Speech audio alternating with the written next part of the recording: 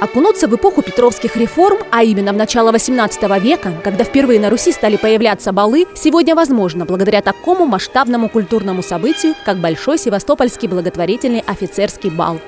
Он и задумывался как э, уникальное событие, и для этого были изучены достаточно большие пласты истории для того, чтобы узнать те самые критерии, которые делают бал балом, для того, чтобы в современной культуре, в современном обществе массовое мероприятие можно было назвать балом, для того, чтобы оно отвечало максимальным меркам, максимальным требованиям, сопутствующим именно балу.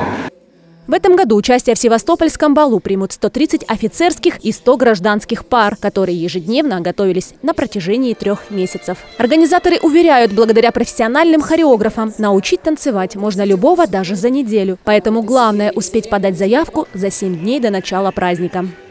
Необходимые мероприятия не только э, в плане взаимодействия между э, гражданским обществом, военным обществом, для военнослужащих, для самих, которые принимают участие в этом мероприятии, это очень важно, а, потому что действительно раскрываются внутренние скрытые таланты после сложных трудовых армейских будней, да, э, это, это мероприятие просто необходимо. А помимо этого, идет содружество между флотами. На сегодняшний день заявила, заявили о своем участии представители Северного флота.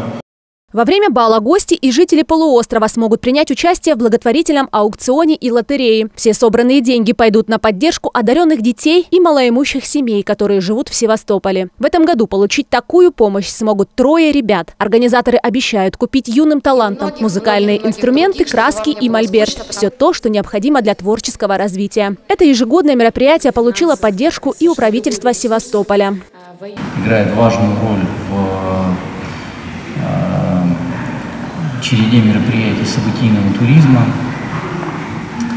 А, мы надеемся, что и в этом году а, Севастопольский бал станет ярким событием а, культурной жизни города и культурной жизни страны. Это идея, идея того, что объединяются совершенно разные люди на базе танца на базе того, что они могут взяться за руки, а, улыбнуться друг другу и начать танцевать. Это на самом деле звучит очень просто, и как сложно переступить этот рубеж, войти а, в зал, пригласить свою даму и начать танцевать.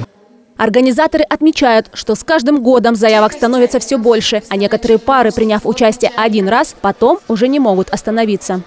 Это мероприятие, в котором мы общаемся с новыми людьми, развиваемся, какая-то отдушина. То есть на службе своей заботы ты приходишь, снял эмоциональную, скажем так, нагрузку, потанцевал, вернулся опять в рутину службы и, в общем... И опять сюда. И опять сюда, да. То есть изо дня в день.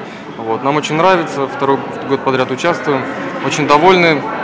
Каждым годом все масштабнее и масштабнее, мы можем сделать уже этот вывод все раньше начинаются репетиции, репетиции все больше, более усердно за нами следят, уже намного больше танцев мы изучаем. Четвертый Большой Севастопольский благотворительный офицерский бал пройдет 11 июня под открытым небом на площади Михайловска береговой батареи. Анна Стекова, Евгений Стариков, служба новостей ИТВ, Севастополь.